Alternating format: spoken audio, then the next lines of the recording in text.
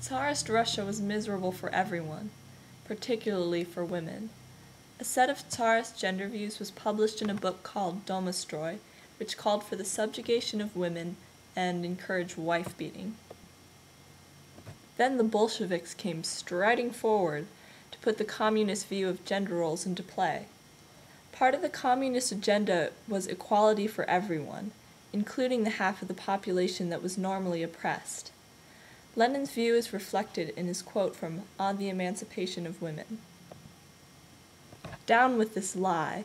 Down with all the liars who speak about freedom and equality for all, while there is still an oppressed gender.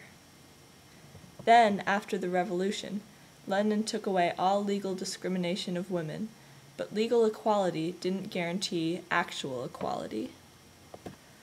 Lenin wanted to go about ensuring actual equality on a huge scale, and to do that he used a plethora of different methods.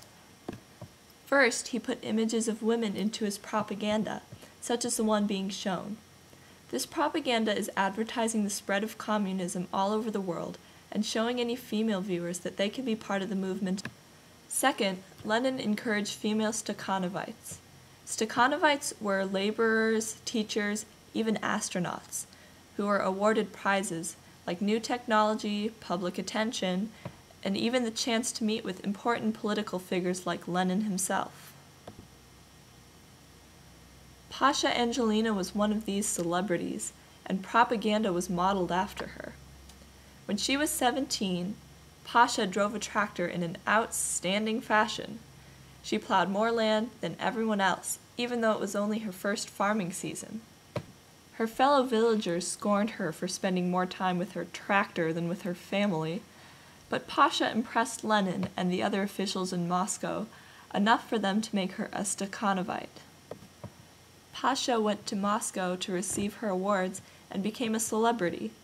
She was so famous that the number of admirers that flocked to her during the workday made it difficult for her to even drive her tractor. Despite all this, neither Pasha or any of the other female Stakhanovites made it to the Politburo. Another way Lenin tried to give women more benefits was by supporting working mothers.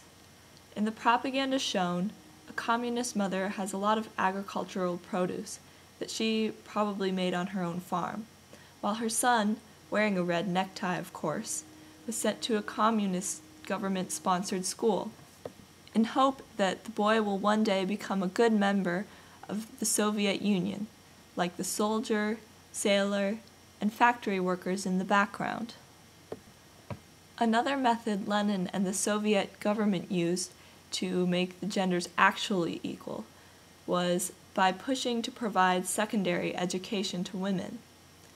In the propaganda shown, the female student, note the red star on her uniform, is proudly standing by a male student and holding a. This picture is showing female viewers that the communist government believes that women are capable of being productive, educated people as well. The literacy rate in women was particularly low. Part of the reason all this flashy propaganda was big pictures and few words was that the viewer was most likely illiterate. So this propaganda, as well as other propaganda, encouraged not only the increase in literacy rate, but also but also just the general education of women. All this propaganda portrayed overglorified scenes, like driving tractors, but how close was it to the real situation of women? Pasha was only a best case scenario. The Tsarist values outlined in Domostroy were so engraved into society that many people, including a fair number as women, continued to resist Lenin's forward thinking, even radical gender views. Stalin's rise didn't help the situation. He was less of an advocate for the emancipation of women than Lenin and the Bolsheviks were. It would take a long time to wear away the layers of traditional prejudice that surrounded the woman question, as it was called, and give women not just legal but actual equality.